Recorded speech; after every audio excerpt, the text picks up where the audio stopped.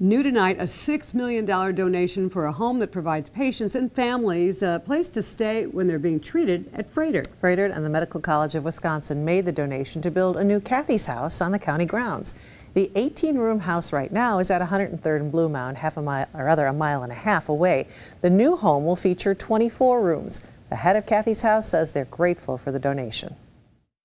This really allows us to continue the focus to be on the guests, staying at Kathy's house and making sure those guests are in the best possible environment so that the family member can, can heal from whatever treatment they're going through.